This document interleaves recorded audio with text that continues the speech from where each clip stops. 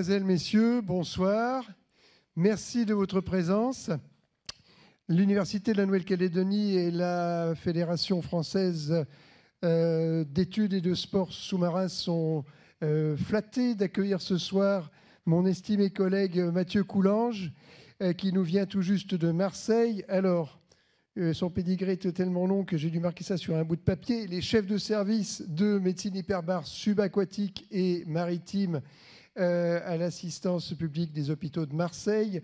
Il est également chercheur à l'INSERM et enfin, il est président de Metsubip, la Société de médecine et de physiologie euh, hyperbare et subaquatique.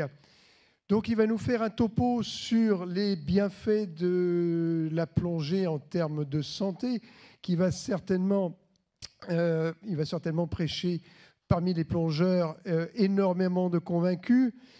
Alors, en, termes de santé, il va surtout nous parler de santé mentale. Vous connaissez tous, je suppose, le principe d'insubmersibilité des contrariétés, qui fait que quand un plongeur est soumis au poids de contrariétés et qu'il s'immerge, le poids apparent des contrariétés sur le plongeur est inversement proportionnel au carré de la pression hydrostatique qui s'exerce sur celui-ci. Vous me suivez?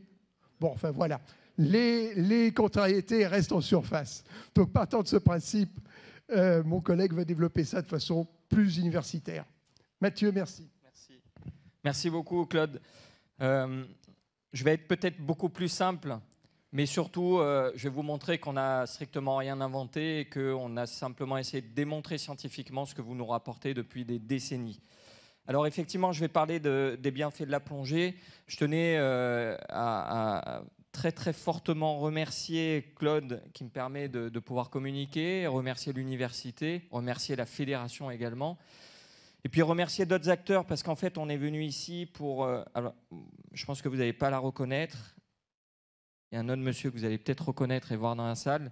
Je voulais à tout prix euh, remercier Anne-Laure Guétonneau et, et, Hervé Lecoq puis bien d'autres médecins qui portent depuis des décennies. Hervé, ça fait à peu près 75 ans, je crois. Il a 112 ans. Il est où? Hervé, lève la main. Euh, ça fait des décennies qu'il nous sollicite pour qu'on on vienne échanger avec vous pour, euh, pour, euh, bah, pour tous progresser sur la médecine hyperbare et porter un projet qui est fabuleux. C'est transformer le caisson hyperbare qui est sur le port vrai caisson hospitalier, même si déjà on se rend compte que ce caisson, il travaille très très très bien. Alors, on était venu il y a sept ans, on était venu euh, former euh, toute une équipe de médecins, d'infirmiers, de scaphandriers pour justement progresser sur ce caisson et puis avoir des équipes. Ce caisson qui sert aux plongeurs, mais qui finalement sert surtout à plein d'autres indications avec un vrai service rendu pour la population. Et je vous ai mis, alors c'est pas pour euh, faire la comparaison, mais je vous ai mis le centre hyperbar de Marseille, euh, où on a trois chambres, où on fait 11 000 séances par an. C'est une activité qui est très rentable et très, très, très intéressante pour toutes les pathologies chroniques liées à la radiothérapie, liées aux infections graves, liées aux accidents de la voie publique. Et c'est des indications qui, malheureusement, sont aussi très présentes ici.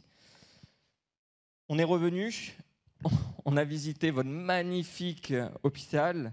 Et je pense que maintenant, il y a vraiment tous les aimants pour que, enfin, vous ayez un centre hyperbare à la hauteur de cet hôpital qui permettent de traiter plus facilement des patients plus graves et surtout plus nombreux. Je vous ai mis en comparatif, alors c'est pas pour, euh, pour se tirer euh, entre guillemets la bourre entre différents centres, mais je vous ai mis le magnifique caisson de Tahiti. Euh, c'est pas parce qu'on est euh, dans des territoires où il y a un petit peu moins de, personnes que pour autant il faut limiter l'accès par des caissons qui sont petits. C'est un des plus beaux caissons au niveau, au niveau français. C'est euh, un caisson qui est en train d'exploser en activité également, qui fait pas que de l'urgence, qui fait du patient chronique. Et j'espère sincèrement que la prochaine fois qu'on viendra, si on est réinvité, on pourra euh, visiter votre nouveau centre hyperbar. Et, sincèrement, je remercie vraiment tous les acteurs qui nous ont hyper bien accueillis et puis tous ceux qui, portent ce projet depuis euh, assez longtemps. Comme l'a dit Claude, le sujet de ce soir, c'est pas de vous parler de l'hyperbarie, c'est de vous parler d'un truc fantastique qui est euh, les bienfaits de la plongée sur la santé. Je vous expliquerai un petit peu la genèse de ce projet. Je vous expliquerai, je prendrai quelques cas euh, spécifiques de pathologie du stress comme le stress post-traumatique. Et puis je vous parlerai surtout des perspectives. Mais Avant de commencer ce topo, je vous propose de regarder un tout petit reportage pour que vous puissiez un petit peu comprendre notre démarche. La plongée peut-elle aider les victimes du terrorisme? Des spécialistes sont convaincus des vertus de cette activité. Il y a quelques jours, une trentaine de rescapés de l'attentat du Bataclan qui souffrent toujours de stress et d'angoisse sont partis en Guadeloupe pour participer à cette expérience. Une expérience soutenue par les hôpitaux publics de Marseille et de Paris et par le service santé des armées. La plongée de l'espoir, c'est un reportage de Laurence Naon et Wassila Kamlé.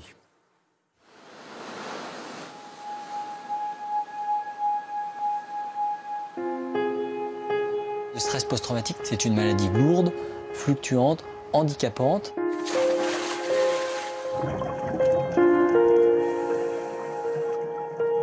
Il n'y a plus aucun stress. C'est une détente absolue. Moi que j'arrive pas du tout à trouver sur Terre. Donc euh. Je pense que euh, la plongée apporte quelque chose de spécifique? C'est quelque chose de très euh, thérapeutique. Qui n'a pas eu son cardiofréquence-mètre Ce matin-là, distribution d'un matériel un peu particulier. juste sous les pectoraux en fait. Le cœur de ces plongeurs va être en permanence enregistré. Non, non, non. On va faire un test. Tu mets la montre au poignet Et pour cause, ces 17 plongeurs souffrent de stress post-traumatique. Tous sont des rescapés des attentats du 13 novembre. Ils ont vu la mort en face. Certains ont été blessés. Quelques-uns ont même perdu un conjoint. Ils ont accepté de participer à cet essai clinique en Guadeloupe. Car une équipe de médecins et de chercheurs en est convaincue, la plongée peut soigner leur pathologie. On aimerait non seulement prouver que ça permet d'améliorer un bien-être immédiatement, et on le ressent déjà par le comportement, mais surtout vérifier que cet effet perdure après ces séances de plongée pendant plusieurs mois. Voire peut-être même permettre de diminuer au maximum le niveau de stress pour éviter de re-rentrer dans la zone rouge qui est le stress post-traumatique. La réserve Cousteau. Le décor de cette étude n'a pas été choisi au hasard. Une eau peu profonde, chaude et transparente pour ne pas rajouter d'angoisse à ces plongeurs quasiment tous novices. Vérifiez que la bouteille est bien ouverte à fond, resserrée d'un quart de tour. Vérifiez que le gilet est fixé comme il faut. Et vous regardez les tuyaux un petit peu comment ils sont positionnés. D'accord hein T'es prêt, tu tiens Dépasser son traumatisme et se jeter à l'eau.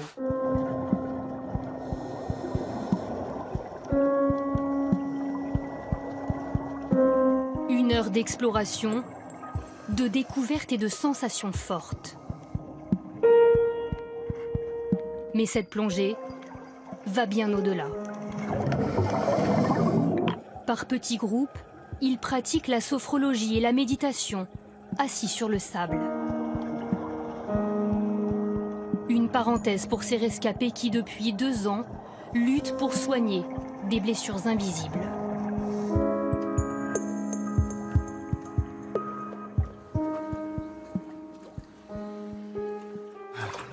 Mots qui me viennent là, c'est euh, vraiment c'est apaisé et, euh, et relaxé. Quoi. On se laisse aller et on oublie tout. Il y en avait à oublier Il génère un paquet d'émotions négatives euh, somatiques, hein, donc accélération du rythme cardiaque, ventilation incohérente, euh, tension musculaire. Et donc là, en fait, euh, ce qu'on fait, c'est l'inverse, c'est-à-dire qu'on va mettre le corps complètement dans un état de, euh, de sérénité absolue. En fait, le cerveau a tendance à moins, euh, à moins exploser dans des émotions négatives. Pour Fanny, cette plongée est une révélation. Putain, on a le droit, quoi. On a le droit de. Ouais, de relâcher. Moi, j'étais beaucoup dans le contrôle et de. Voilà, d'assurer de- de- une espèce de tension, je crois, pour tenir. Et ici, on nous a offert cette possibilité bah, de relâcher, quoi. Et là, c'est comme si euh, tout pouvait se passer, il y a tout qui glisse c'est merveilleux, quoi. Pourtant, les deux années qui viennent de s'écouler n'ont pas été simples pour Fanny. La jeune comédienne était au Bataclan le 13 novembre. Les balles des terroristes ont blessé son mari au dos. Il est un vrai miraculé. La blessure physique de son conjoint s'estompe, mais les blessures de l'âme demeurent. Alors qu'avant, on était tout le temps dans la joie de vivre, euh, fonceur, etc. Moi, j'arrive plus à, trouver euh, de la joie, voilà, à trouver de l'envie. Vous êtes dans un endroit avec du monde, puis tout le monde rigole, et puis vous, en fait, vous êtes plus là. Donc c'est une espèce d'absence aux autres, où tu es plus connecté, comme un funambule, quoi. On est là, mais sans être vraiment vivant.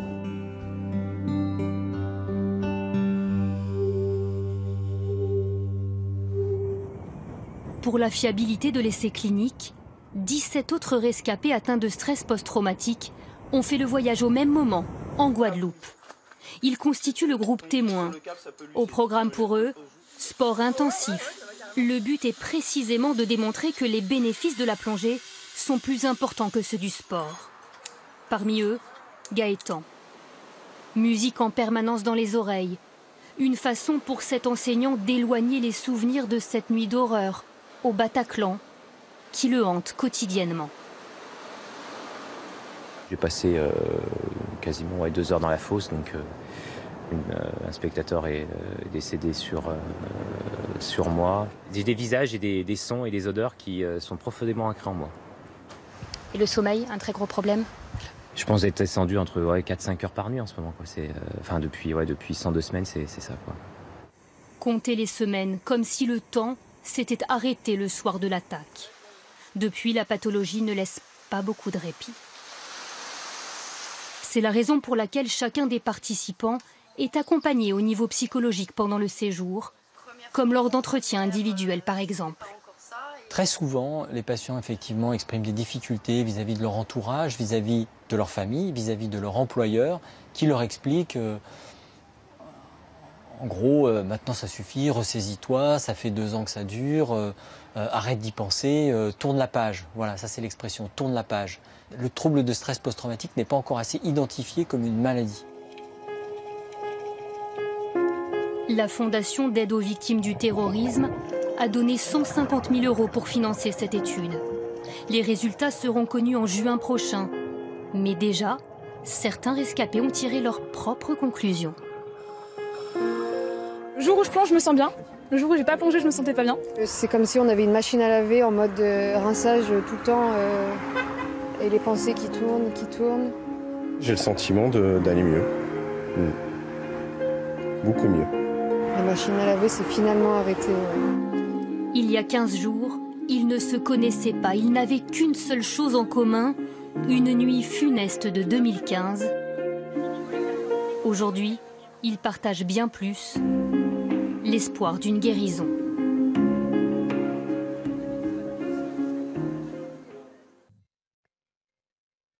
Voilà, merci pour, votre attention. On va essayer de se replonger. Hein. Je vous ai montré une étape de notre thématique de recherche qui a débuté dans les années 2013-2014. Euh, j'avais passé ma thèse il y a quelques années, j'avais passé un doctorat de, sciences avec, euh, dans un laboratoire de recherche dans lequel euh, travaillait le, professeur Austin et on travaillait ensemble en collaboration avec euh, le service de santé des armées sur les contraintes cardiaques de l'immersion. Et on essayait de comprendre pourquoi il y avait des accidents graves en mer. Et on essayait de proposer des, actions de prévention. On était très fiers de nos résultats. Et puis sans arrêt, quand on faisait des conférences, on venait nous taper dessus en nous disant, écoute, OK, il y a quelques accidents graves, mais moi je fais de la plongée parce que régulièrement, quand je fais de la plongée, je me sens beaucoup mieux. Je dors mieux, je gère mieux mon stress, je gère mieux l'imprévu. Euh, donc, essayez un peu de regarder ce qui pourrait, euh, ce qui pourrait, euh, pourquoi ça marche. Essayez de le démontrer scientifiquement, ça serait peut-être beaucoup plus intéressant que de terroriser tout le monde sur une accidentologie qui est très faible. Et à cette époque, donc le, professeur Ossin, en 2014, me dit, bah, tu sais, nous on travaille sur les effets de la narcose. J'ai dit, mais la narcose c'est dangereux, ça entraîne des modifications au niveau de certains neurotransmetteurs comme la dopamine, la sérotonine, qui vont entraîner un ralentissement psychomoteur, qui dès 30 mètres peuvent entraîner euh, des troubles de l'attention, qui peuvent entraîner du suraccident dès 50 mètres. Mais oui, mais une exposition répétée à, à l'azote, finalement, peut avoir un effet inverse. Et au lieu de réduire la quantité de neurotransmetteurs comme la dopamine et la sérotonine, on se rend compte que c'est en train on fait cette exposition répétée, ben, ça a plutôt tendance à augmenter. Et c'est marrant parce que quand on traite euh, la dépression, on utilise des médicaments qui permettent d'augmenter la quantité de sérotonine et de dopamine. Donc il y a peut-être quelque chose de très très intéressant sur cet effet que l'on craignait, qui finalement explique peut-être la conduite addictive de certains plongeurs hein, qui ont besoin d'aller une à deux fois par semaine régulièrement plonger à des profondeurs qui sont quelquefois à la limite de l'acceptable, mais qui finalement pourraient leur faire du bien lorsqu'ils sont au-delà de 30 mètres. Donc on se dit, ben, on va regarder, on va étudier des populations de plongeurs, et à cette époque, une rencontre, un type qui s'appelait Frédéric Benetton, qui était un financier, polytechnicien, qui travaillait beaucoup et qui euh, avait euh, beaucoup de stress dans sa vie professionnelle et qui lui s'était rendu compte que lui aussi, hein, que la plongée était probablement une des seules activités qui lui permettait euh, d'améliorer sa qualité de vie malgré toutes les contraintes professionnelles. Malheureusement, il fait un burn-out, il démissionne et il vient taper à la porte de notre laboratoire en disant, bah voilà, moi je veux prendre un an sabbatique et je vais essayer de démontrer scientifiquement les bienfaits de la plongée que j'ai constatés par ma pratique. Alors effectivement, on a cette idée, on se dit, ouais, c'est intéressant, peut-être qu'on pourrait euh, regarder des plongeurs lambda, et on lance une première étude qui s'appelle Dive Stress, qui s'adresse à des plongeurs lambda. Donc on s'adresse euh, à Marseille, à l'UCPA, qui a deux centres. Un centre qui est dans une magnifique calanque, qui est à Niolon, que certains d'entre vous connaissent, dans lequel il y a des plongeurs qui viennent régulièrement se former ou plonger sur euh, plusieurs jours. Généralement, c'est des stages d'une semaine. On s'est dit, on va regarder un petit peu avec des questionnaires. Est-ce qu'ils ont un niveau de stress lié à leur vie quotidienne, vie familiale, vie professionnelle? Et si jamais ils ont un niveau de stress, on va regarder si l'activité plongée diminue euh, ce niveau de stress. on nous dit, oui, c'est une bonne idée, mais est-ce que c'est à plonger? Est-ce que c'est pas le fait simplement d'être dans un élément merveilleux qui est la mer, dans une belle calanque Est-ce qu'il n'y a pas simplement un effet vacances? On décide de faire comme toute étude qu'on a l'habitude de faire en, médecine, c'est de comparer un groupe témoin. Le groupe témoin, on n'a pas pris le groupe le plus simple, hein, puisqu'on on est allé sur un autre centre qui n'est pas très loin, dans une très très belle calanque également, qui est Sormio, où là, l'UCPA a des kayakistes et a des gens qui font de l'escalade. C'est des gens qui ont quelquefois un tempérament déjà un peu plus zen que certains plongeurs. On s'est dit, bah, on va regarder on a sélectionné beaucoup de monde, hein, à peu près 140 personnes. On, leur a demandé de remplir des questionnaires et on a essayé d'apparier en fonction de l'âge, du sexe, de la pratique et surtout de leur niveau de stress. Et on a pu faire deux groupes, une quarantaine de plongeurs et à peu près une trentaine de personnes qui faisaient du multisport. On les a évalués avant, on les a évalués juste après et surtout, vous avez compris, ce qui nous intéressait, c'était de voir est-ce qu'il y a un effet rémanent plusieurs semaines après. On les a donc évalués. Un mois après. Toute cette évaluation psychologique euh, a été faite euh, par euh, nos collègues de l'Institut de recherche biomédicale des armées, qui sont spécialisés dans toutes les pathologies du stress, et notamment le professeur Marion Trousselard, qui est expert dans ce domaine. Les résultats, ils sont spectaculaires. on voit clairement une diminution du niveau de stress sur les deux populations, mais par contre, cette diminution, elle est beaucoup plus marquée dans le groupe plongé. Alors ça fait l'objet euh, d'une publication. Et si, entre guillemets, on n'a rien inventé, on a fait simplement que démontrer ce qui nous était rapporté depuis des décennies par les plongeurs, c'est une des premières publications dans le sport santé. Et c'est la première publication sur la plongée, sur les bienfaits de la plongée, sur les pathologies, sur le stress vie quotidienne, où on montre clairement on va améliorer la qualité du sommeil, diminuer euh, le stress perçu, améliorer le bien-être. Et ça, ça semble perdurer un mois. On a, en réalité, on avait essayé de les suivre un peu plus longtemps, mais malheureusement, ça a été un peu compliqué, donc on ne savait pas si au bout de deux mois, trois mois, ça allait pas s'estomper. Quand on regarde plus précisément la population de plongeurs, notre déception, c'est que la plupart plongeaient dans des zones de moins de 30 mètres. Et donc notre hypothèse principale, qui était de dire que l'effet d'exposition répétée à l'azote permettait d'avoir un effet bénéfique sur le stress, était une mauvaise hypothèse. Et je vous dirais qu'elle nous arrangeait bien parce que certaines personnes qui sont très stressées, qui prennent quelquefois des anxiolytiques. On n'est pas toujours très rassuré. Avant, on avait même tendance à leur contre-indiquer totalement la plongée, ce qui est quand même un paradoxe. On sait que maintenant, on peut très bien plonger, mais en limitant la profondeur pour éviter des effets euh, de toxicité des gaz lorsqu'on est un peu trop bas ou de désadaptation à l'effort. Donc, euh, moins de 30 mètres, ça nous va bien, ça marche, mais finalement, comment ça marche? Pourquoi ça marche? C'est pas l'azote. On va chercher autre chose. Et là aussi, euh, on se rapproche euh, de, personnes qu'on connaît bien, notamment Morgane Bourkis, qui est un apnéiste euh, marseillais, qui, travaille énormément sur des techniques de relaxation, de détente. Et puis, on rencontre Vincent Meurice, qui est un moniteur de plongée, qui est sophrologue, qui nous dit, mais tu sais, nous, souvent, quand on a des gens un peu stressés, qu'on amène plonger, on aime bien leur faire des techniques de relaxation fondées sur les techniques de contrôle respiratoire. Alors, c'est des techniques qui, sont, qui ont été démontrées depuis très longtemps, hein, qui sont utilisées dans le yoga, qui consistent simplement à ralentir sa ventilation. Donc, on passe de 10 à 12 cycles par minute à 6 cycles par minute et à faire une ventilation très lente et ample. Et on s'est rendu compte que les personnes qui faisaient ces séquences de contrôle respiratoire pendant 5 minutes, une à deux fois par jour, pendant plusieurs jours, ben, ça améliorait euh, leur, euh, leur état avec des marqueurs qui n'étaient pas simplement des questionnaires, mais aussi des marqueurs physiologiques. Alors, ça, ça nous intéressait particulièrement parce qu'on sait tous que sans même avoir acquis... Le, le, problème de ces techniques de contrôle respiratoire, il faut quand même une certaine adhésion. Et surtout, il faut prendre le temps, il faut accepter de se mettre au calme. Et, euh, on se rend compte que certains qui sont un peu agités, ben, finalement, les techniques de contrôle respiratoire, au bout de deux secondes, ça, ça les gonfle un peu et ils abandonnent très vite ces techniques. Or, quand vous vous mettez en l'eau, en fait, vous avez un détendeur avec des résistances ventilatoires qui automatiquement vont vous imposer un ralentissement de votre ventilation. Et il n'y a même pas besoin de l'enseigner.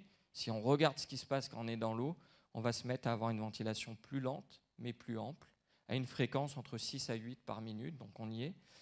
Et vous verrez qu'en plus de ça, il y a d'autres effets qui vont majorer ce, ce, phénomène. Alors, comment ça marche? On va faire juste un tout petit peu de, de, physiologie, mais c'est des choses qu'on connaît tous. Hein. On sait très bien que notre psychique est directement lié à notre somatique. Quand on va pas bien dans sa tête, on a le tube digestif qui fonctionne pas bien, le cœur qui fonctionne pas bien, euh, le poumon qui fonctionne. On a tous les organes qui dysfonctionnent. Alors pourquoi ça dysfonctionne? Tout simplement, nos organes, ils sont contrôlés par un système nerveux autonome. Ce système nerveux autonome, il va en permanence adapter votre organisme à l'environnement extérieur, à ce que vous faites. Ce système nerveux autonome, en fait, il est constitué de deux composantes. La première, c'est euh, ce qu'on appelle le, système sympathique, adrénergique. Allez, on a, on, a, on a besoin de se défendre, on a besoin de courir, on a besoin de lutter, on décharge l'adrénaline. Et ça, ça nous permet euh, de tout accélérer et, de pouvoir euh, bah, mener beaucoup d'activités. Et puis à côté de ça, c'est bien beau hein, d'avoir euh, ce système accélérateur.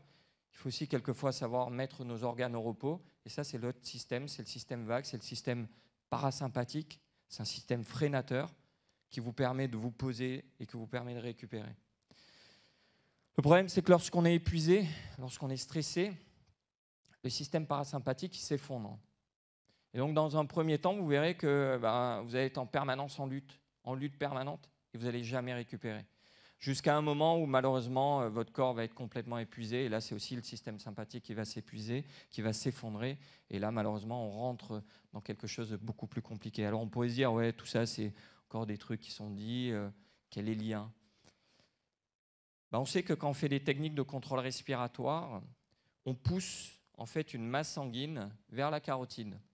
Dans la carotide, il y a des petits barorécepteurs qui vont sentir une puisqu'on va pousser une masse sanguine dans cette carotide. Et cette tension va, va restimuler, réactiver le système parasympathique. C'est un petit peu comme si on rééduquait ce système, comme par exemple un blessé qui a une fracture et qui bouge plus sa jambe, qui a son muscle qui s'atrophie. Bah, le fait de refaire des mouvements, de restimuler la jambe, on va réactiver, faire gonfler le muscle et on va rétablir ce système parasympathique par une technique qui est très simple, qui est la technique de contrôle respiratoire. Ce qui est génial, c'est que sous l'eau, automatiquement, vous limitez votre ventilation. Mais en plus de ça, je vous ai dit, le but, c'est de pousser de la masse sanguine vers les carotides. Et on sait que quand on s'immerge, l'eau comprime les membres inférieurs, l'abdomen, les tissus mous, et pousse du sang dans le thorax. Donc en fait, on a un afflux massif de sang qui arrive. On s'en rend pas compte hein, généralement. Si on peut s'en rendre compte, parce que en fait, quand le cœur se distend, il n'aime pas être dans un régime de pression trop élevé, donc il va sécréter une petite hormone qui va vous donner envie d'uriner au bout de 20 à 30 minutes, on l'a tous ressenti. Mais pendant ces 20 premières minutes, en fait, on a une masse sanguine beaucoup plus importante, ce qui veut dire que quand on fait des techniques de contrôle respiratoire de façon totalement involontaire, on pousse des masses sanguines plus facilement vers la carotide et on stimule beaucoup plus facilement ce système parasympathique. Plus de ça, quand vous mettez la tête dans l'eau, alors il faut de l'eau un peu plus froide que chez vous, mais l'eau froide va stimuler aussi des petits capteurs qui activent ce système parasympathique. Donc la plongée est une technique simple pour rééduquer le système parasympathique de façon totalement naturelle. On me dirait, ouais, mais quelle est la preuve? Bah, Il y a une preuve simple. Hein. Vous mettez sur un profil de plongée, donc on a notre plongeur qui est descendu, qui a fait toute sa plongée, vous mettez un cardio-fréquence-mètre. Au début, il est un peu rapide, 100-120, c'est normal, hein, on s'équipe, on va dans l'eau. Et puis on s'amuse, et ça c'est un, petit peu la, prouesse de, de, Vincent Meurice, qui s'est dit, bah, ok, je sais que la plongée ça marche, mais moi je vais intégrer dedans des exercices pour augmenter ces techniques de contrôle respiratoire. Et on le voit très bien, hein, là il fait un premier exo, tac, on baisse automatiquement, on est à 90. On reprend l'explo, on s'arrête, on fait un deuxième exo. Ça peut être du poumon bala, ça peut être des, jeux sous l'eau. Et puis, puis progressivement, bah, on se rend compte qu'en fin de plongée, on arrive à perdre quasiment 40 à 50 points de fréquence cardiaque. Ça, c'est l'effet immédiat. Mais quand on regarde avant et après une semaine de plongée, on se rend compte que cet effet, en fait, a restimulé le système parasympathique et on a une autre technique de mesure qui s'appelle la variabilité de la fréquence cardiaque, la cohérence cardiaque, qui se mesure, je vous montrerai sur une petite vidéo de façon très simple, et qui montre que cet effet perdure après la plongée. Donc on a le premier effet qui est vachement intéressant, qui peut en plus être objectivé par des outils simples, hein, une montre connectée, un ordinateur de plongée avec un cardiofréquence mètre, et surtout qui va être objectivé par des questionnaires euh, de bien-être.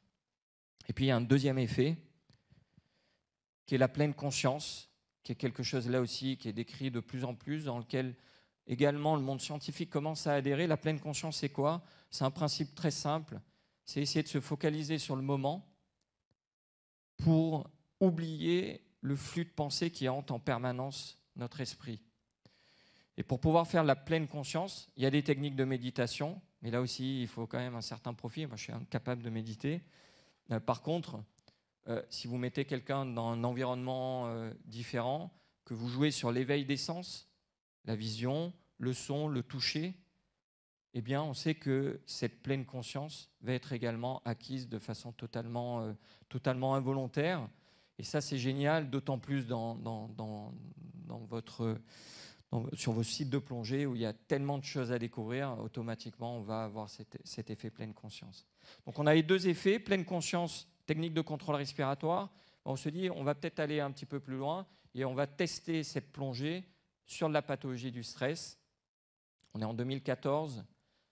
Malheureusement, les attentats euh, surviennent et on décide donc euh, euh, de réfléchir très rapidement à un protocole et de proposer à des victimes des attentats qui sont encore en stress post-traumatique, qui ont un, échec aux prises en charge conventionnelles, hein. on veut en rien se substituer à la prise en charge habituelle, on leur propose donc un, protocole de plongée dans une étude qui va s'appeler DIVOP. Cette étude, c'est celle que je vous ai présentée sur la vidéo. Toujours pareil, on sélectionne des personnes qui sont en stress post-traumatique. On essaye de les apparier pour pouvoir comparer deux populations. Donc là, on a sélectionné 60 personnes, quasiment que des non-plongeurs. Donc c'est super intéressant. Hein. C'est des gens qui n'ont pas de connaissance de la plongée. L'idée, c'est de rester sur un profil de formation niveau 1 et d'instiller dans cette formation des exercices qui potentialisent euh, les deux effets, la pleine conscience et le contrôle respiratoire. On décide d'aller dans des eaux plutôt favorables. Donc, nous, on a choisi la Guadeloupe. On aurait pu choisir la Nouvelle-Calédonie. Euh, on part là-bas. Quand on arrive là-bas, on les tire au sort. Pour dire, toi, tu vas dans le groupe plongée, toi, tu vas dans le groupe multisport. Le groupe multisport, on leur avait fait un programme magnifique, hein, mais euh, ils vont nous en vouloir quand même quelques jours parce que tout le monde veut faire la plongée. Et effectivement, on les comprend bien, puisque quand on regarde un des indicateurs qui était un questionnaire avec au départ les deux populations. Alors ici, vous avez en fait, vous, avec ce questionnaire, vous avez un score. Ce score vous permet de vous dire vous êtes au-dessus du seuil du stress post-traumatique. Et vous êtes donc dans le stress post-traumatique. Donc effectivement, les deux populations sont euh, au-dessus. Ce qu'on voit, c'est qu'au décours du, des deux semaines de, de stage ou d'activité multisport, les deux s'améliorent, mais on a quand même quasiment la totalité du groupe de plongeurs qui passe en dessous du stress post-traumatique. Immédiatement après, à un mois, malheureusement à trois mois, ça va s'estomper. Mais en tout cas, on a un vrai effet bénéfique avec une absence de problèmes. On a eu un barotraumatisme qui a entraîné une interruption de plongée pendant 24 heures, alors qu'on a fait 200 plongées sur cette population qui avait quelquefois des thérapeutiques qui étaient, il y a quelques années, qui faisaient l'objet de motifs de contre-indication. Donc c'est un premier résultat, ça marche, mais surtout, ce n'est pas dangereux. Ça nécessite un encadrement particulier, bien évidemment, mais ce n'est pas dangereux. Alors, le problème, c'est que le groupe témoin, entre guillemets, qui avait fait du multisport, il a dit Vous êtes bien gentil, et nous, on est encore euh, assez nombreux à souffrir, alors que nos collègues euh, vont beaucoup mieux. Donc on s'est dit, bah, écoutez, on va vous proposer un peu comme ce qu'on appelle le cas témoin euh, quand on compare des techniques de, soins. on va dire, OK, vous avez eu le multisport, vous n'avez pas eu la plongée, on va vous amener plonger, on va regarder si ça, ça marche mieux. on n'avait pas tout dit à l'époque, on les avait amenés à Marseille pour voir si effectivement, lorsqu'on a une combi, que l'eau est froide, que l'environnement est un peu moins clément, est-ce que ça marche quand même? Et c'était notre deuxième étude qui a été faite euh, un an plus tard, et qui a montré des très très bons résultats. Alors pour l'instant, on vient à peine de publier euh, l'étude de Guadeloupe. Hein. elle est sortie il y, a, un mois dans une belle revue euh, où on montre, et c'est des revues internationales à comité de lecture, donc c'est c'est quand même un niveau de preuve qui est intéressant. On va essayer de publier également l'étude qu'on a fait à Marseille. Et puis on a continué à travailler. Alors, on s'est intéressé au stress post-traumatique chez euh, des personnels militaires euh, qui, euh, qui, avaient des années d'exposition sur des théâtres d'opération qui, qui, qui, ont été très durs et qui ont entraîné vraiment des troubles très importants. Ces personnels-là avaient en plus pour certains des blessures physiques, donc on rajoutait une inconnue on avait euh, un, des, participants qui avait été amputé, un autre qui avait été brûlé, un autre qui avait été blasté. Et toujours pareil, très rapidement, on a vu des améliorations. On explorait le sommeil avec un accéléromètre, on explorait la fréquence cardiaque, on explorait la qualité de vie. Et surtout, on s'intéressait à ce qui se passait après. Certains euh, se sont reconvertis dans la plongée, euh, d'autres ont repris une vie sociale. Euh, donc des résultats qui étaient vraiment très intéressants et qui allaient un peu dans le sens d'une première étude anglo-saxonne qui, avait montré déjà que, ça marchait. Cette étude n'est pas encore publiée.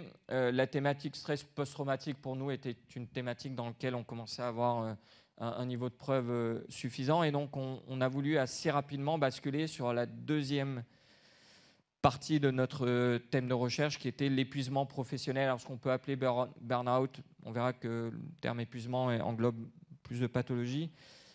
On avait choisi les soignants, et là aussi, hein, on n'avait rien prévu, hein, c'était avant le Covid, mais je vous rassure, avant le Covid, quand vous faites des enquêtes de terrain, nous on s'était intéressé à Marseille à l'épuisement professionnel et personnel urgentiste. C'est mes collègues de travail, je suis urgentiste, je connais leurs conditions. Et lorsqu'on regarde un petit peu euh, leur état, que ce soit les médecins, les infirmiers, les aides-soignants, les brancardiers, on se rend compte qu'il y a quasiment 50% qui sont dans des niveaux de seuil qui devraient faire l'objet d'un arrêt de travail. Marseille, si vous en mettez 50% des personnels des urgences en arrêt de travail, euh, c'est fini. Hein. Euh, sur le plan sanitaire, c'est catastrophique. Mais si vous les laissez travailler, vous mettez aussi en danger la population qui vient aux urgences.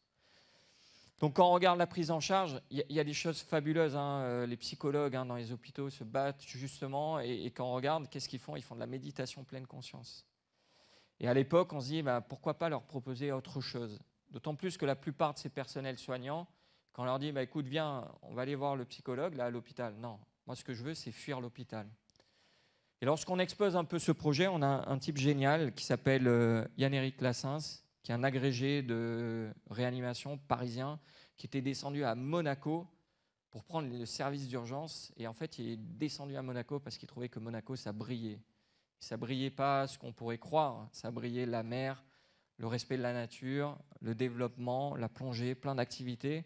Et lorsqu'il entend notre projet, il se dit, mais finalement, euh, moi, ça m'intéresse parce que on a aussi dans nos services euh, l'épuisement professionnel. On travaille beaucoup avec les Niçois qui sont également épuisés.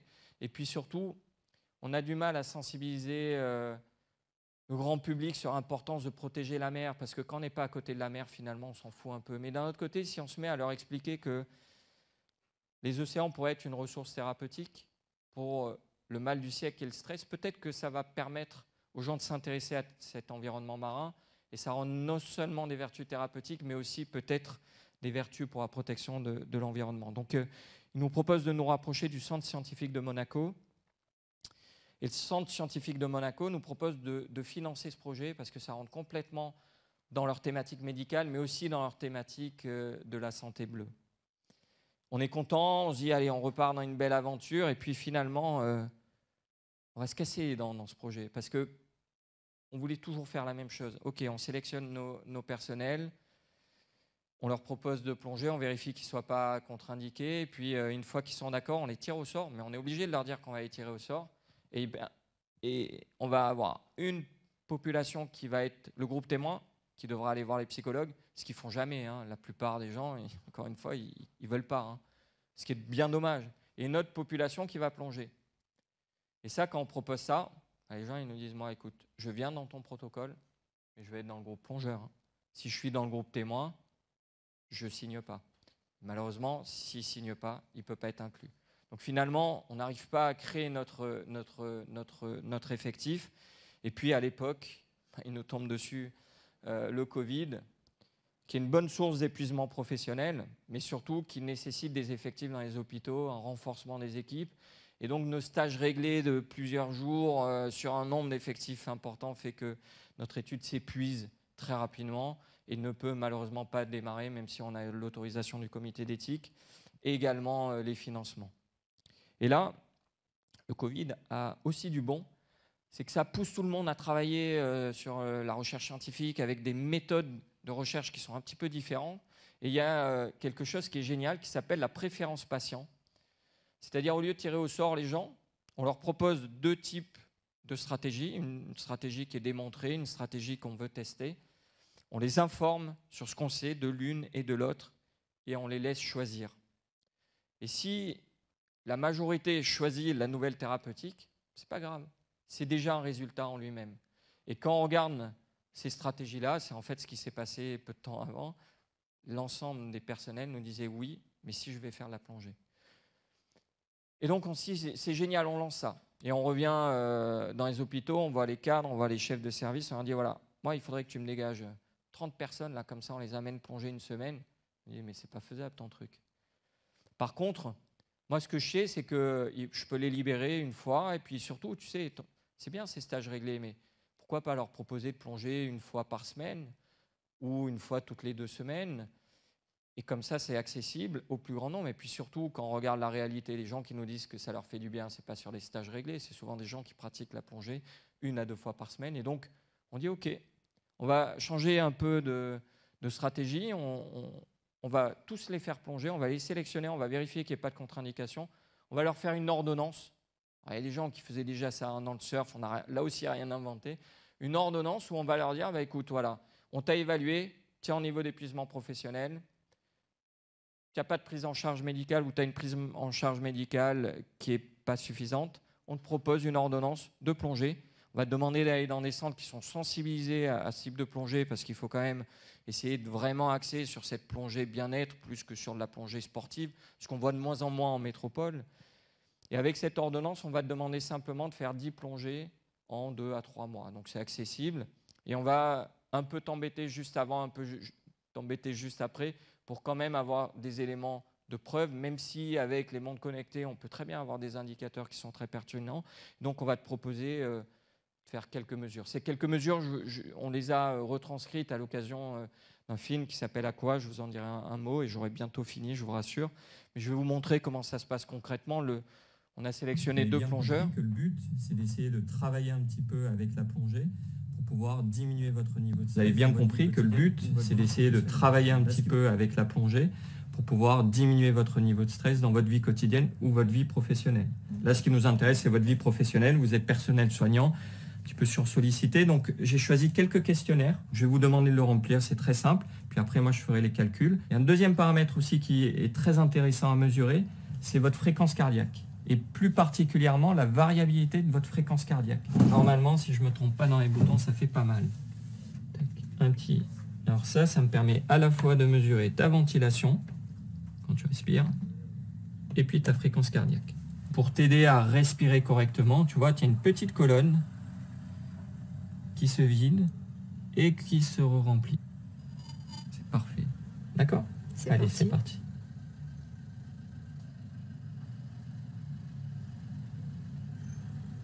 Super, qui a été parfaite. Tu vois, tu es juste à la limite du bleu, tu es plutôt un peu dans le rouge. Ça veut dire que tu es à la limite du stress. D'accord?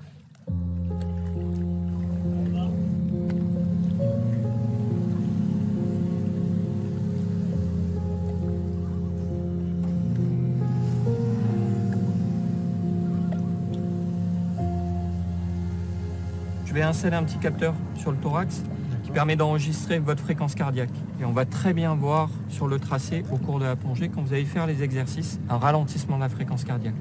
C'est le signe que vous faites correctement vos exercices. Et si vous faites correctement vos exercices, vous aurez un vrai bénéfice sur votre, sur votre bien-être et votre santé. Hop, il est bien. Hop, hop et tu peux, tu peux t'habiller, puis après tu penseras à mettre la montre et je la déclencherai quand on sera en surface.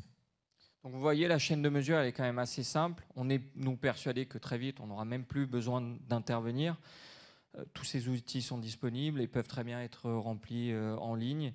Et ça, ça va nous permettre de justement euh, avoir un panel de, de, de sujets beaucoup plus important pour pouvoir démontrer l'efficacité. Alors, on est beaucoup resté sur le stress post-traumatique, l'épuisement professionnel.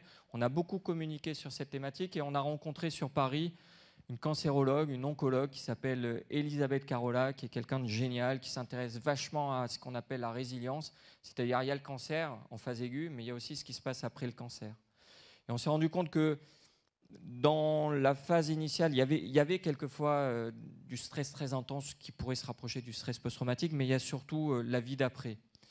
Et lorsqu'elle a entendu parler euh, de notre projet, elle s'est dit, mais pourquoi pas proposer euh, ce type de protocole à des femmes qui ont euh, eu un cancer du sein et pour lequel cette résilience va être compliquée avec un schéma corporel qui peut être modifié, bah, finalement la plongée pourrait être un outil fantastique, d'autant plus que les pouvoirs publics ont modifié la loi et ont mis des financements pour faire ces fameux soins de support, mais également pour former des équipes à la prise en charge de ces patients.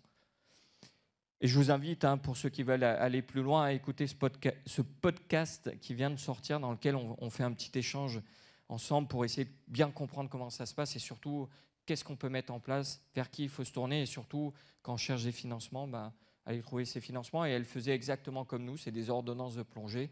Et elle proposait euh, dans des sites référencés d'aller euh, tester euh, ces techniques.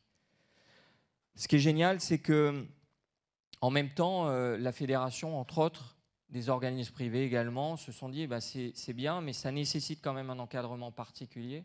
Et donc, euh, dans cette dynamique du sport santé, la fédération a créé euh, deux niveaux. Un sport bien-être, dans lequel euh, vous n'avez pas de pathologie particulière, mais par contre, vous allez pratiquer ce sport parce qu'on sait que ça fait du bien sur la santé. Et puis un sport sur ordonnance, où là, vous avez effectivement une pathologie. On sait que la plongée peut ralentir l'évolution de cette plongée prévenir certaines complications, voire même peut-être diminuer l'impact de cette pathologie sur votre santé. Et euh, la coïncidence est assez amusante. Ils ont lancé, euh, elle vient de se terminer, une première formation pour les moniteurs qui souhaitaient euh, compléter leur panel de formation avec ces, deux niveaux de, de, compétences. Alors, là aussi, beaucoup de clubs ont déjà mis en place des techniques qui se rapprochent énormément de ça.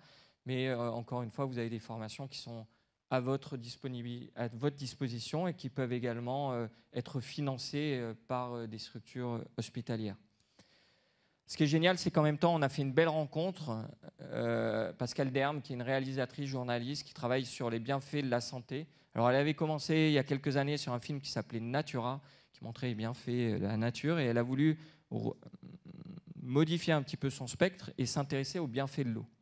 Elle nous a vus, on a travaillé ensemble et on a euh, présenté euh, au cours de ce film euh, notre travail, mais surtout, elle a rencontré différentes équipes et il y a une équipe qui m'a assez touché parce que ça se rapprochait de façon assez, assez importante de, ce que faisait Elisabeth. Enfin, de façon.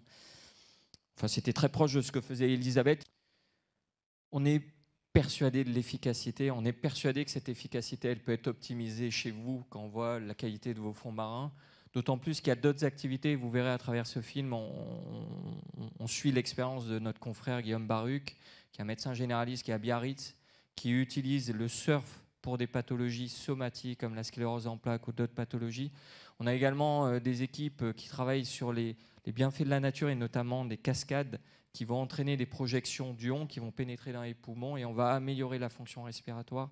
Tout ça, ça se démontre de façon scientifique.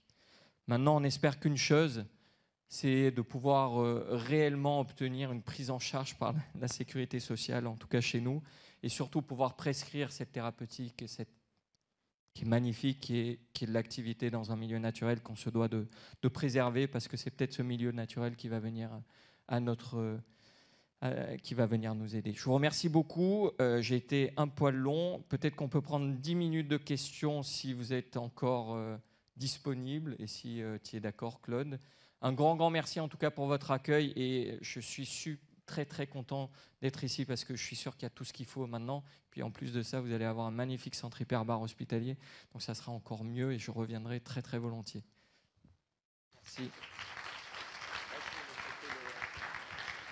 Merci beaucoup Mathieu pour cette, euh, cette superbe intervention. Alors moi j'ai une première question, mais alors je la pose à mes collègues, à mes confrères. Alors moi, je vais aller trouver la CAFAT dès demain matin pour en obtenir le remboursement euh, des, euh, des plongées sous-marines. Qui vient avec moi? Je ne voudrais pas y aller tout seul. D'accord.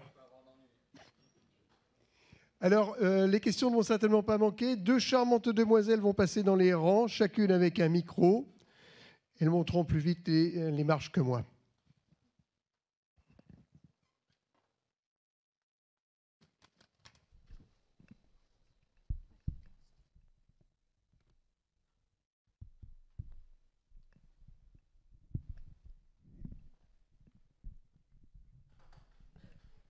Bonjour, je suis désolé pour mon français, mais c'est comme ça. Je voulais savoir si vous avez pensé d'utiliser le cortisol ou des autres hormones euh, endocrinologiques connectés avec le stress, le, avec le stress dans votre étude ou quelqu'un a fait ça? C'est effectivement une superbe idée et c'est hyper compliqué de doser ça dans des standards habituels, ce qu'on fait en laboratoire, mais ce qu'on peut difficilement faire sur le terrain. Par contre, on sait, euh, euh, on a voulu hein, initialement, mais c'était vraiment euh, trop compliqué en étant plus souvent dans des situations d'éloignement par rapport à nos laboratoires. Ce qu'on sait, hein, on, a utilisé d'autres paramètres, l'odorat, l'éveil d'essence. Enfin, on avait d'autres critères pour vraiment montrer qu'il y avait des indicateurs objectifs, mais tout ce qui est biologique, on l'a pas fait. La deuxième chose, c'est qu'on veut à tout prix éviter d'être trop invasif. L'idée, c'est pas de dire qu'on va essayer de trouver d'autres traitements, c'est simplement de dire si vous plongez, ça ne vous fera pas de mal, ça vous fera peut-être du bien. On n'est pas allé plus loin sur les marqueurs biologiques. Tu, aurais proposé, tu as, des idées, il y a des choses que tu, peux, que tu peux faire sur le terrain facilement, sans être trop invasif? Euh, J'ai un doctorat en neurosciences euh, aussi, j'ai changé ma vie, mais euh, dans le passé, j'ai travaillé avec le PTSD des personnes qui ont eu des situations de guerre mais dans les privés, c'est compliqué de parler de ça. Et mm, nous avons utilisé le cortisol dans la euh, comment se dit euh, salive salive et euh, mm, sudoration, c'est correct? Ouais, ouais, la sueur. Hmm. Et tu as réussi à avoir des, des, des, résultats exploitables? Il dépend de la typologie du PTSD. Parce que c'est le stress post-traumatique. Hein, ah, SSPD en français Stress post-traumatique. Ok, oui. Mm. Euh, parce qu'il se parle de SSPD, euh, stress, post, euh, désolé, stress post-traumatique, mm. mais il existe plus, plus, plus typologie de stress mm. post-traumatique. Il est vraiment différent à stress post-traumatique d'une femme violée ou d'une personne dans la guerre ou d'une personne qui a eu des autres typologies de situations comme de l'abus infantile ou autre chose. Et nous avons vu qu'avec euh, certaines typologies graves, c'est très facile. Hmm. Avec certaines typologies comme, euh, je ne sais pas, le Bataclan, parce que hmm. c'est à fois, c'est une, une, situation vraiment difficile, mais ce n'est pas une situation qui est répétée dans les temps. Mais c'est possible qu'avec la sudoration et la salive, et aussi c'est plus facile de tenir les champions, parce qu'avec les sangs, c'est. Impossible. Alors effectivement, on est très grossier dans nos études et maintenant ce qu'on a besoin de savoir, c'est est-ce que ça marche en milieu artificiel, dans les fosses de plongée? Parce que nos collègues, de- enfin nos participants du Bataclan, en fait, on s'était rendu compte que certains allaient beaucoup mieux que les autres, alors qu'ils devaient rien faire pendant trois mois, mais ils allaient plonger dans les fosses de plongée à Paris. Euh, Est-ce que ça marche avec l'apnée? L'apnée, euh, à chaque fois qu'on présente ça, on nous dit mais l'apnée c'est encore plus marqué. Donc il y a plein de choses à faire. Quelle dose En fait, il faut définir la posologie et adapter ça au bon patient, comme tu, tu le disais. Peut-être en, en sélectionnant mieux avec des outils plus performants et surtout une connaissance. Moi, je suis hyper barré, je ne fais pas de la neuroscience. Donc, euh, ravi de savoir que tu es sur l'île et que tu vas pouvoir peut-être euh, proposer d'autres projets. Mm. Merci en tout cas pour ta remarque. D'autres questions? Allez plonger. Merci beaucoup. Bonne soirée.